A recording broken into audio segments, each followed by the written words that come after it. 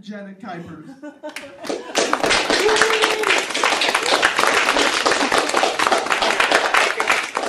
explaining to you guys a bit of uh, chemistry stuff and doing periodic table poems for you. I have to. I can't help it.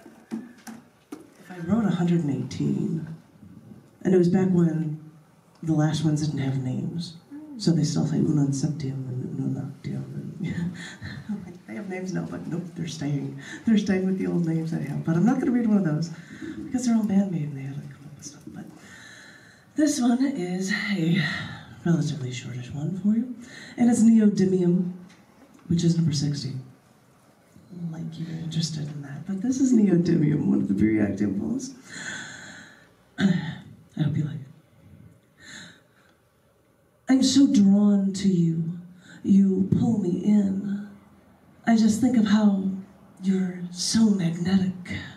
With your electric charge, my motor's going. You get me charged up, thinking it's a game. You use my favorite gems, garnet and crystals, and you make every point seem laser clear. Your focus must be why I'm so drawn to you. I must come to you until you're near. And now you know how I love my glassware.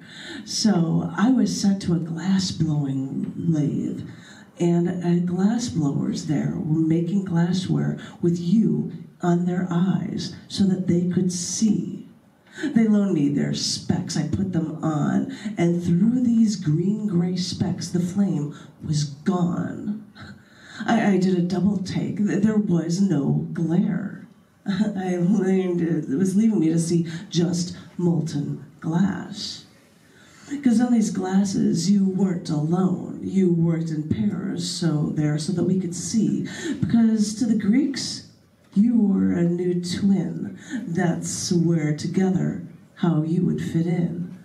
And all this time, I was so drawn to you, and now you've proven that you can help me see too.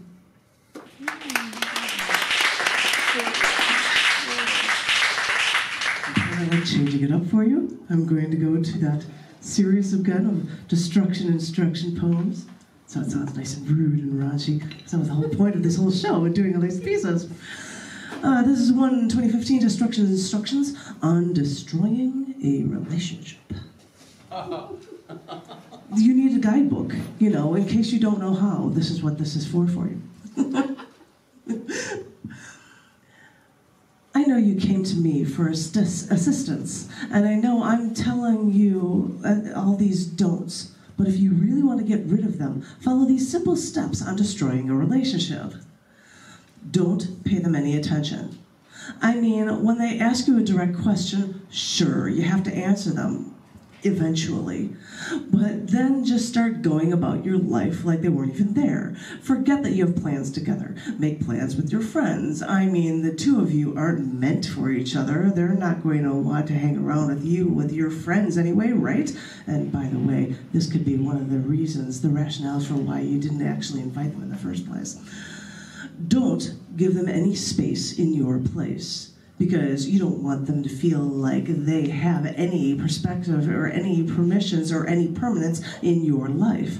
Oh, God, you've done that already, haven't you? You've given them, you've let them keep their crap at your place. Well, then let me guess, you're try, you're just trying to like redecorate. Maybe you could say, oh yeah, that's even worse. But well, all this stuff there is something of theirs. Well, it can't be destroyed. Well, maybe on accident, because really, if you can't end a relationship, you have to cut any and all ties and strings from them in the first place. Oh, I was about to suggest, uh, suggest that you should look like you have violent tendencies, maybe clean your guns more. But then I realized that that acting crazy might actually backfire on you, and you could get called from the cops or something, and you don't want to have to deal with that kind of big load of mess. So don't go acting crazy to drive them away, as tempting as that actually sounds. When something goes wrong, goes violently wrong. Don't tell your partner that you don't want this to end. Don't say that you don't want this to be a goodbye because you're living with these, you're giving them, the, these mixed signals in the first place. You're giving them this glimmer of hope that things might actually work out after all. Because really, the whole point is that you don't want this relationship to work out in the first place. Oh, don't ever say that you don't want to throw away your relationship even if you do. Please don't let them think that you're vested in this relationship anymore. And another thing, when something goes wrong, goes violently wrong, don't tell them that you're sorry. God, no, that's the worst thing you could do. Don't open a window for them to think that you might be at fault. I don't even care if you are at fault or not, but the thing is, the last thing you do is to actually tell them that you're sorry for anything. I know this might they might cling. I know they might be desperate, but you said that you wanted to be free, and I, I'm only trying to help.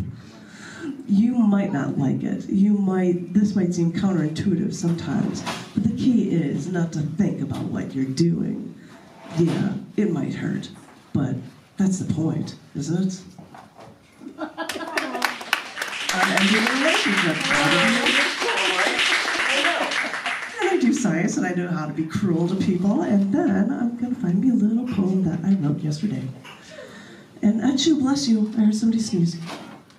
And I've never written a poem in my life about being a poet or writing a poem. And this is as close as I get, and I wrote it yesterday. And it's called Quilled for Poets. What metaphor should I adhere to?